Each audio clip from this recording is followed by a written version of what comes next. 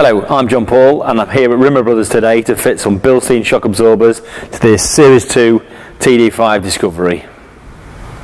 First thing to do is get it jacked up safely. If you've got uh, a ramp like us, that's even easier. But yeah, get it jacked up safely, get an axle stand under it if you're just using jacks, and then we'll take the wheel off.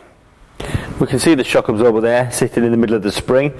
Um, there's two bolts, 13mm spanner size bolts at the bottom of the shock absorber and four nuts around the top turret. So once you've taken the bottom ones off and the top nuts off, we'll then go underneath the bonnet and lift the whole shock absorber up with the turret out through the inner wing. Obviously the bolts have been on quite a long time and they're going to be fairly reluctant to come off so I would spray some some lube underneath so they're on the bottom of the threads and then when you get your spanner on just undo them but probably just work them backwards and forwards every time just to try and help to stop them snapping off because once they've snapped off it's obviously more of a problem.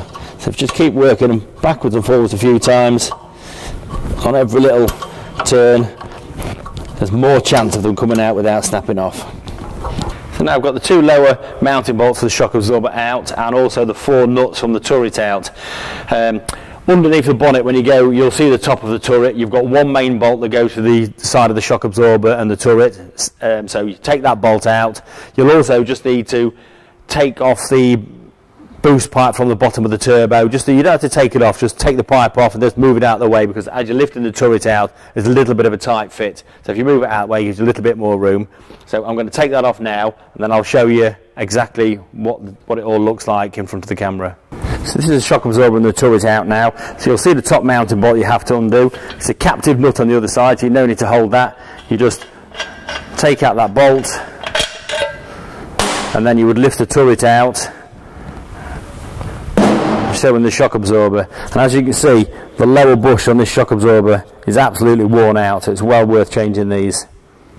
So here's the new shock absorber now ready to go on and it's pretty much a reverse of what we've just done. So we'll slide it down the middle of the spring um, then we'll put the top turret in put all the bolts in loose. I'd copper grease them all as well before we uh, tighten everything up properly. Um, and then just tighten everything up and then that's it so that's the new shock absorber in place now. All the nuts and bolts are in, but, but loosely. So it's a case of tightening them all down. On the top, tur top turret ones, I would just tighten them down opposite, just so it pulls it down nice and evenly. And then the bottom two bolts. Um, don't forget to put the boost pipe back on the back of the turbo. Um, and then that'll be this side done. We'll move on to the other side after that, which is pretty much the same as this. The only difference here is you need to remove the header tank to get access to the top of the turret. Um, the, and the top um, two cooling pipes on them are, are made of, out of plastic and they're fairly brittle, so I would just advise to take them pipes off rather than just hold the header tank out the way. As I said previously, the only difference to the right hand to the left hand is the header tank is in the way to the top of the turret. So you just have to, these are the plastic pipes I talked about. If they are if they, are old and original, then you really ought to take these off rather than leave them on, because if you do hold it out the way, there's a chance they'll crack. We've replaced these fairly recently, so we know they're okay. And the header tank is just clipped in, so you just lift it up at the back, unhook it, and then you can lift it and move it out of the way. Now that gains access to the top of the turret. There's just one other thing. There's a wiring loom that just clips in the top of the turret, just a push fit plastic connector. So you just have to make sure that gets out of the way before you start taking it to pieces. We've now done the front, so we're ready to move on to the rear. So same again, the first thing is remove the rear wheel. So here's the rear shock absorber we can see, a little bit easier than the front. One bolt at the top and one bolt at the bottom. Uh, captive nuts on each end, so you only have to take the bolt out. Um, get 18 mil socket or spanner.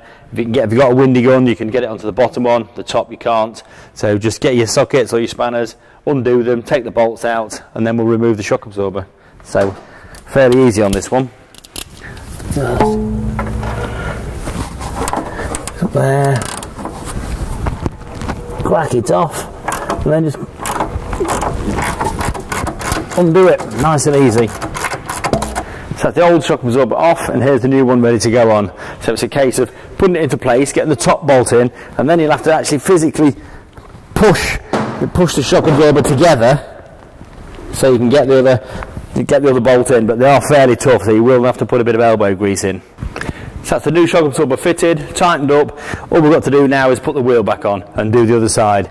Now, it is always, when you're working on any, vehicle, it's always a good idea to have a check around, make sure everything looks okay. And I have noticed while we're here that the bottom link on the levelling valve, the plastic um, mounting point at the bottom has cracked and that's because the, the metal sleeve inside has corroded and as it's swelled up it's actually broken the plastic so although it's still attached and obviously still doing its job that's going to be a job for another day